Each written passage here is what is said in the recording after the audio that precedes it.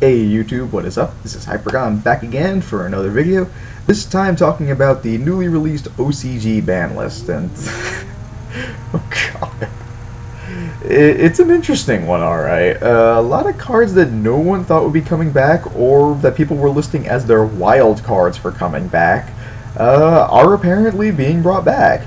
I mean, again, this is the OCG ban list, and they are doing a pack where they're bringing back a lot of old cards with newer effects. So it's not like they're coming back as we remember them, they're nerfed. Or like what happened with Dark Strike Fighter, how he's no longer the power he used to be because they eroded his effect, and he's not just over the top.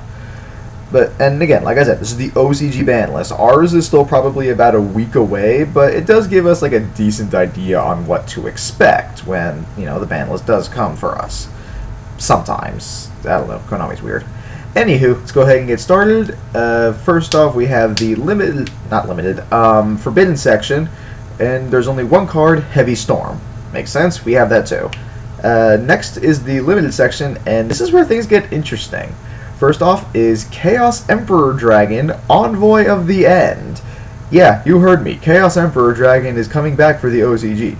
And again, it's his effect's probably going to be a little different, but it's ultimately still Chaos Emperor Dragon we're talking about. I can't imagine that they can nerf it that much without still being ridiculous. Anyway, next up is Sinister Serpent. you all know what he does. Blaze Fenix, the Burning Bombardment Bird. This is kind of a newer one. It's a fusion monster between a machine and a pyro type monster, whose effect says once per turn you can burn your opponent for 300 for each card they control, but he can't attack the turn you do that. Not bad. Uh, next up, we have Senju of the Thousand Hands, Manju of the Ten Thousand Hands, and Nekroz of Unicore. Hmm, wonder who they were trying to nerf in this one. I'm assuming next format will likely see a similar ban list. Not for January, but for the one afterwards. I can easily see that happening.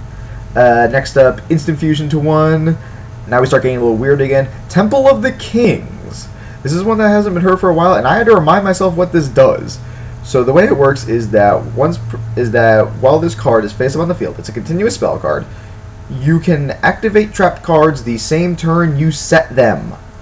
That is insane there's another effect too, but it only works with one specific monster, which I don't see anyone running, so I'm just going to ignore it. But yeah, Temple of the Kings is back. Then we have Preparation of Rites, you know, again hitting the Nekroz. Uh, then we have Symbol of Heritage, which is if you have one, if you have uh, three copies of the monster with the same name in your graveyard, you can basically Monster Reborn one of them and equip um, Symbol of Heritage to that monster. Uh, again, I'm assuming this is a Nekroz hit. I can't imagine any other decks that could really use that. They don't have Burning Abyss, so I don't see that being a big thing. And I also don't see that for Shaddolls or anything like that. So, again, I'm assuming that's a Nekroz hit. Uh, Super Poly is at 1. This is where things get really weird. You remember how I said they banned Heavy Storm? Harpy's Feather Duster is at 1. Yeah, let me say that again. Harpy's Feather Duster is at 1. For those of you who have somehow forgotten or are new to the game, Harpy's Feather Duster is the better Heavy Storm. Heavy Storm wipes all spell and traps on the field. Harpy's Feather Duster is only your opponent's spell and traps. Why? I. Why? I, I cannot comprehend their logic on that one, but like I said, this is a weird ban list.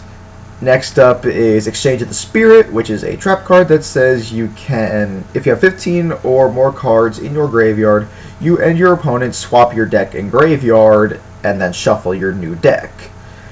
it's pretty good late game, or if you're running something like Light Sworns and you're milling a lot, so you'll have a bigger graveyard than your opponent, and it just kind of screws them over. But I, I don't see this being a big deal, honestly. The final two cards for the limited section are again some odd choices Crush Card Virus and Ring of Destruction. I'm sure I don't need to explain why those are bizarre. If any of you have ever seen the original Yu-Gi-Oh anime, you would know what they do. And trust me, it was just as dumb in real life as it was in the show. Those cards are ridiculous. Now, again, a lot of these cards are getting reprints in some future OCG packs, so it's not that bizarre that they're coming back. But it's still weird to hear like Chaos Emperor Dragon and Harpy's Feather Duster are going to become a thing again. But again, I, I don't see anything like this happening for us, at least within those cards, because we're not getting a pack like that. So, I mean, we may eventually, but for the time being, it's not looking like we're going to have anything like that. Uh, next up, we have Semi-Limited, we have Inzektor Hornet, Atlantean Dragoons, number 11 Big Eye, Big Eye was limited for them before, uh, Brotherhood of the Fire Fist Rooster, and Monster Gate. I can honestly see all those. It's not all that surprising. I could even see that happening for us, realistically. I mean, most of those aren't that big of a deal. Except maybe Big Eye, because he's at 3 for us, and we've never cared, so... And finally, the Unlimited section. We have Evil Swarm Ophion. Again, he was hit over there as opposed to us. Chronomaly Nebradisc. That's an OCG card, so that doesn't affect us at all. Uh, finally, Card Trooper, TG Striker, Tragodia, Lonefire Blossom, Hieratic Seal of Convocation, A Hero Lives, and Ojama Trio. All of which, except for Hero Lives, are possible things that we could see. Um, the only reason we can't see a Hero Lives becoming unlimited is because it is already, so be kind of pointless.